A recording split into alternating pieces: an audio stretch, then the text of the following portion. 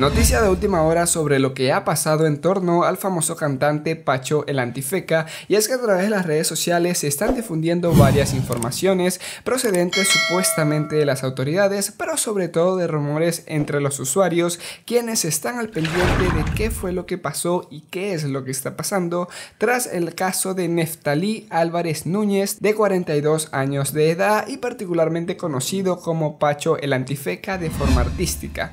Pero ¿qué es lo que está pasando y qué se sabe hasta el momento de información nueva, pues vamos a conocer rápidamente todos los detalles. Pero antes de continuar, recuerda darle like a este video, de esta forma me estarías ayudando a seguir informando para ti. Para los que no lo sepan, Álvarez Núñez se encontraba ayer a las 10 y 25 de la mañana en el centro comercial Plaza Tropical, localizado en la carretera PR 167 en Bayamón, Puerto Rico. Las autoridades mencionaron que como suele suceder en este tipo de casos, las confidencias que se han realizado y se han recibido son escasas, pero cuentan con información levantada por la División de inteligencia y es que algo que llama la atención es que los investigadores ya están comenzando a buscar lo que vienen siendo los videos de cámaras de seguridad del alrededor así como otras informaciones de testigos en donde se pudiese descifrar quiénes fueron los culpables y obviamente confirmar los sospechosos. Esta es parte de las noticias más recientes que en paz descanse y muchísima fuerza para todos sus familiares.